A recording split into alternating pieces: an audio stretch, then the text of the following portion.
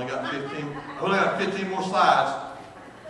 Some of y'all need to slow down your fingernail chewing, back, back, back down just a little bit. You might need a couple left fingers left before I get through. Ready? Fear also makes us cop out. Excuses keep us from being productive. Abraham Lincoln said, you know, if you look on the internet, everything was either said by Abraham Lincoln or Benjamin Franklin. Matter of fact, every quote on the internet is either by Benjamin Franklin or Abraham Lincoln. my fact, it was signed Abraham Lincoln on the internet. Get it? Abraham Lincoln said excuses are the nails that build a house of failure. When Abraham Lincoln was trying to win the Civil War, he didn't win a war, but he got it. It was thrust upon him. When it was over, the North wanted to come down and consume the South, which they really did a lot. But Abraham Lincoln was the restraining force that kept them from doing worse than they did. Lady told Abraham Lincoln, said, aren't we supposed to destroy our enemies? He said, when you make them friends, aren't they your, don't, don't you destroy your enemies? The South is not our enemy, they're our friends. But he would have all these generals, he'd put them in charge, and they would not fight. And so he wrote these letters to these generals, wrote these letters to these colonels. Whenever he was upset, he would write letters to his cabinet members, write letters explaining just how upset he was. Then he would take the letter and he would seal it and he'd put it in his desk and never mail it. He knew that art of getting off your chest without tearing somebody else up. Got off his chest. When they found him, after he was shot that night in Lincoln Theater, or Ford Theater, when he, when he got shot, when they found him, he had a watch and he had something else, but he also had writings in his pockets. He had one writing talking about how sorry he was, another writing talking about how good he was, some of his accomplishments. So he kept himself in balance. Awesome man. Doing an awful time. But see, excuses keep us from being productive. You see, he blamed the character and personality of his master as his lack of investing. So in here, you might have you ever said, Well, God, if you hadn't done it this way, I could have done that. You know, I remember after I watched DC and Daniel take off flying with that music. I mean, I put it in their hands from the time they were little bitty things. I kept putting music in their hands, we'll play the instrument. I got it for them. Whatever they wanted, they got, and I made sure that we did some way or another. I trained them, now they're training me. I think I've learned more from them than they learned from me. But sometimes I think about it, I think, I said, well, Lord, if I'd have known this, I could have been practicing when I was really young, and I could be playing like these boys. I have friends in, in uh, minister friends that have doctor's degrees, and they're already psychologists, psychiatrists, and all this stuff. Think, Lord, if I'd have known, I could have done that as an engineer, and I could have done. But you know what? Lord always speaks to me and says, Son, I know what I'm doing. Trust me. I know what I'm doing. Trust me. Some of you here are going to go, God, if, if I, if, if, and God's saying, do you trust me? Do you trust me?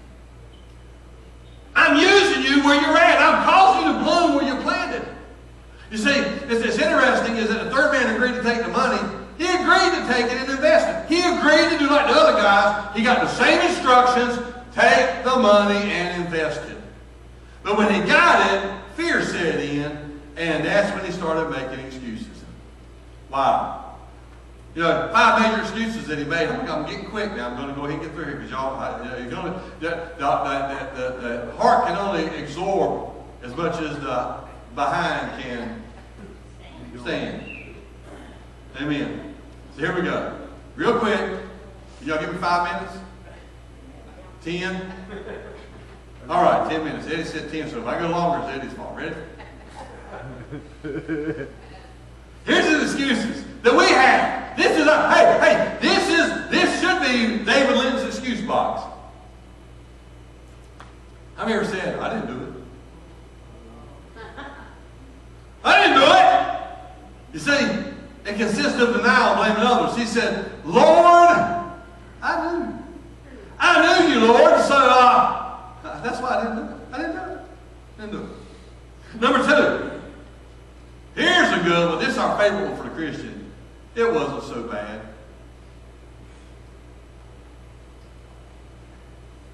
Oh, still.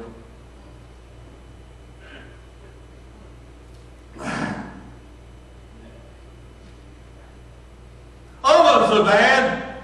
To minimize our sins and mistakes, he said, I went and hid it.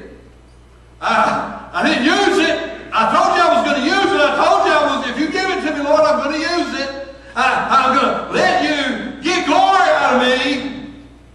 But instead, I'm going to sit there with that remote in my hand.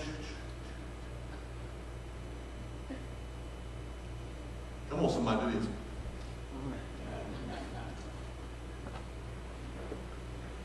Well, I know they need help. Let somebody else help them.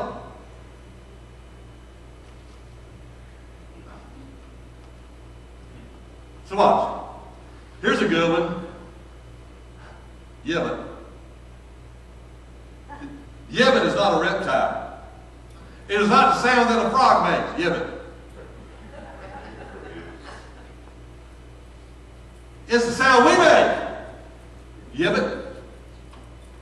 Well, you know what? but since the mission of guilt followed by an excuse. Yemen. Couldn't help it. I'm going to send that into Jeff Foxworth, Southern State, Southern State. Yemen.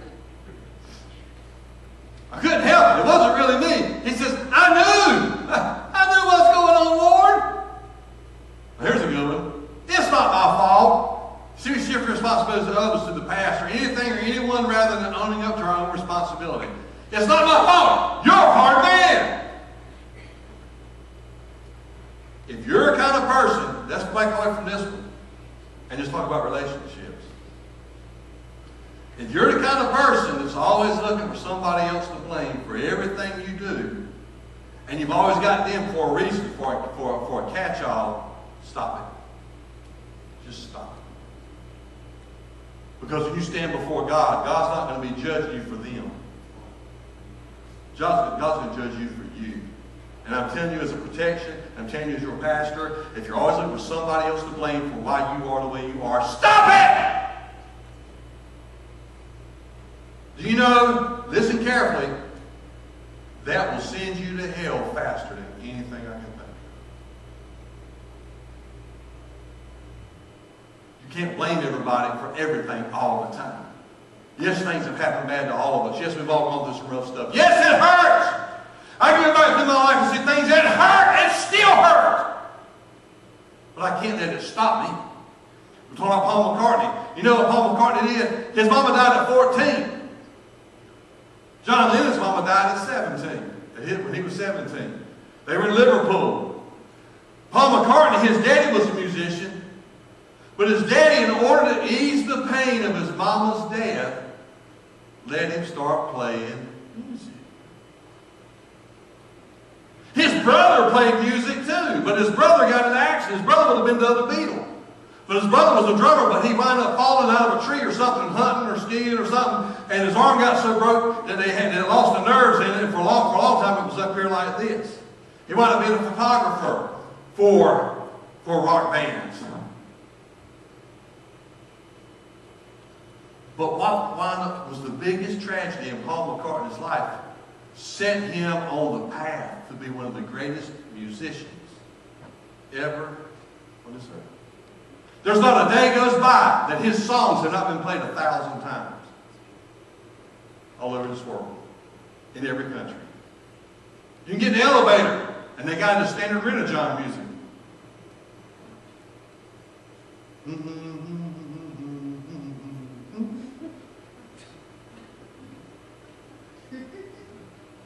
Everywhere you go. But you see, he got together with John, and they were trying to mourn their mother's death. And as they mourned their mother's death, they were musicians. They just started playing together. And they started playing together. They started writing songs together to get over their mother's death. And as they mourned their mother's death, John's mother was Julia. What is John's first child's name? Julian. They're trying to get over their mother's death, and so as they began to play together to get over their mother's death, they became two of the most powerful musicians in the entire world. Some of you hear it now. Something's happened to you. You want to blame it, blame it, blame it. Well, if this had to happen, I'd do this. If this had to happen, I'd be like this. Not knowing that what's happened is not here to stop you. It's here to propel you, to give you greatness. That God can use in a powerful way, but you got to trust Him. You say, here's one. Can't do it. We sell ourselves short. Uh, fear causes the mind to shut down. Instead of seeing opportunities, we see obstacles.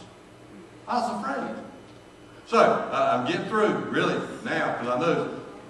Remember, if you throw if you throw anything, any fruit, make sure it's not candy.